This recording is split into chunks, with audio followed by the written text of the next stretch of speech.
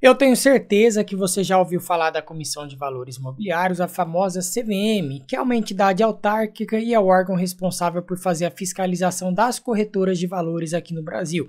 Então, ela basicamente ela cuida ali do mercado de ações, né, sociedades anônimas de capital aberto.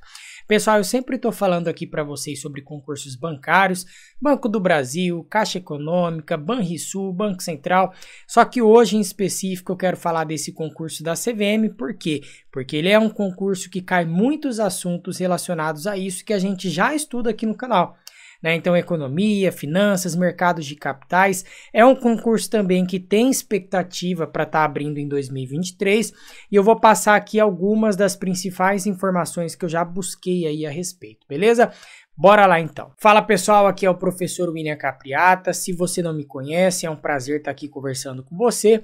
Sou professor de certificações bancárias, sou mestre em economia e também dou aulas para galeras aqui relacionadas a concursos públicos da área bancária. Então, estou sempre publicando aqui assuntos é, de conhecimentos específicos e tem ajudado bastante o pessoal a conseguir sua aprovação. Hoje, em específico, eu quero falar para vocês de um concurso da CVM. Tá? Eu já fiz uma introdução, falei o que, que é esse órgão, para que, que, ele, é, que, que ele faz basicamente aqui na nossa economia. E, pessoal, Além do Banco Central, que é um ótimo concurso, né, que inclusive eu já fiz um vídeo aqui no canal, posso deixar o link aí na descrição, a CVM é um ótimo concurso também que costuma pagar salários elevados.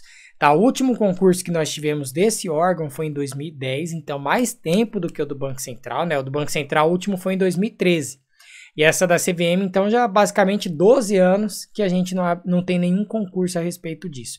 E foi solicitado pelo presidente da CVM em abril de 2022 desse ano um novo certame com 127 vagas, tá? Vou colocar agora aqui na tela para eu estar tá te mostrando um pouquinho dessas características. Beleza, pessoal, eu entrei aqui no site Prof. Capriata, né, o meu site, eu cliquei aqui em blog e aí você já clica aqui no concurso CVM 2023, acabei de fazer essa postagem, né? Então aqui, o novo certame à vista, Sindicato Nacional dos Servidores exigiu a realização de um novo concurso e o presidente ele enviou um novo pedido com 127 vagas já em abril desse ano, né? sendo 50 vagas para analista, 27 vagas para inspetor e 50 vagas para agente executivo. Esse agente executivo aqui é uma vaga, vaga de nível médio, tá, pessoal? Então ele falou aqui, ó, realmente é uma necessidade da autarquia, a situação do quadro de vagas de servidores é crítica e temos um déficit de aproximadamente 30% dos nossos cargos com vagas não ocupadas e que precisam ser preenchidas, tá? E eu trouxe aqui as principais características desse concurso do que ocorreu em 2010, né? Então presta atenção, a remuneração, inspetor e analista, 13.264, isso era é, salário inicial, é, começou na carreira, você vai começar ganhando isso, isso em 2010, galera. Então hoje em dia o salário vai ser muito maior. Eu chuto que deve começar aí pelo menos uns 17 mil reais tá? E agente executivo que é de nível médio, o inicial em 2010 era esse valor de 4775. Inspetor, ó, escolaridade, curso superior concluído em, qual, em nível de graduação em qualquer área. Então, qualquer área você pode fazer. E o analista, ele também tem que ter nível superior, só que tem a especialização, né? E aqui eu já trago a, os temas aqui para vocês, tá? Em qual área de graduação você deveria ter se especializado, né? E agente executivo, nível médio completo, basicamente isso. Atribuições do cargo aqui, ó, o inspetor ele atua na fiscalização das entidades supervisionadas pela CVM, então, por exemplo, as corretoras e distribuidoras de valores, e tem que ter disponibilidade para viagens de inspeção, tá? E o analista, ele tem várias áreas, essas áreas foram de 2010, esse novo concurso pode ser que venham novas áreas também, tá? O mercado de capitais, arquivologia, biblioteconomia, recursos humanos, sistemas, TI, e normas contábeis e de, de, auditoria. Então, por exemplo, ah, mercado de capitais tem que ter formação em economia, né? Normas contábeis tem que ter é, formação em ciências contábeis, aqui em biblioteconomia e por aí vai. E o agente executivo ele basicamente auxilia tanto o inspetor quanto o analista, tá? E alguns assuntos relacionados de prova eu trouxe, trouxe somente aqui do analista de mercado de capitais, não trouxe de todos, tá? Você pode estar acessando o edital depois para pegar tudo, esse de 2010, mas é só para você realmente ter uma noção.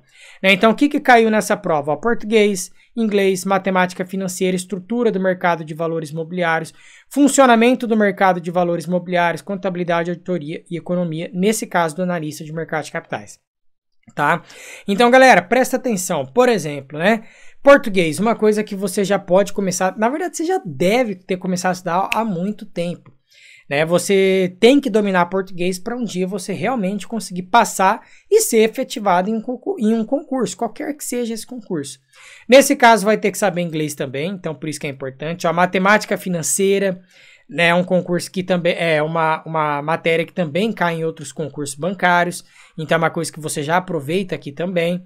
Funcionamento do mercado de valores imobiliários, eu até coloquei aqui a discriminação do que, que caiu. Então, por isso que eu falei que muitos assuntos que vocês estudam lá nos concursos dos bancos também aparece aqui, que às vezes você pode tentar aproveitar. Né? Então, o mercado de ações, capitalização das empresas. Aí só aqui, ó, tem operações à vista, opções a termo, futuro, que é mercado de derivativos, swaps. Aqui fala dos índices, uma coisa que a gente já estudou também. E a parte de economia. Nessa parte de economia eu pretendo fazer uma playlist aqui para vocês, tanto para o Banco Central quanto aqui para a CVM, né? Claro que não vou me comprometer 100%, eu preciso ver se eu vou ter disponibilidade de tempo para estar tá publicando as aulas aqui relacionadas à economia. Então, basicamente, foi isso que caiu no edital anterior. É, você já pode começar e deve começar a se preparar, porque existe sim a expectativa que tenha esse concurso em 2023, pessoal. E além disso, né, aproveitando e falando aqui de um, de um outro concurso, um que já é certeza absoluta, Banrisul tá? Esse daí já vai abrir no início do ano que vem o edital. As provas devem acontecer no máximo até meio do ano, então tem que começar a estudar o quanto antes. Se você deixar para a última hora, vai ser mais um concurso bancário que você vai se arrepender, não vai conseguir aprovação e vai ficar triste. Vou deixar para o próximo, tá? Então, Banrisul, aí depois Banco do Brasil possivelmente já deve abrir.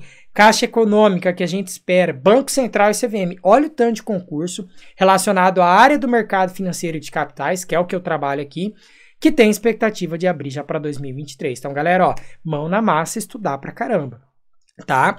É, se você quiser treinar, por exemplo, aproveitando aqui, né, é, com questões comentadas, eu tenho aqui, ó, nessa parte, questões de concursos bancários, que você pode estar tá acessando, é, ainda está no preço promocional, até os 200 primeiros vai sair no preço de R$ 29,90. E aí você vai ter várias questões para você estar tá treinando, tá? A internet ela tá um pouquinho lenta aqui hoje, mas já vai carregar. Ó, ó, faltam 42 alunos, basicamente. Então, tem questões do Banco Brasil, Banco de Brasília, Banrisul, Caixa Econômica, Banco Central, é, Banco da Amazônia, Baneste, Banese, Banpará, BNDES e vários outros, né? Pretendo colocar aqui depois também da CVM. Então, galera, é basicamente isso que eu queria falar para vocês sobre esse concurso. E gostou desse vídeo? Deixa o seu like aí, ativa o sininho para você nunca perder uma novidade por aqui. Tchau, tchau, pessoal. Até a próxima.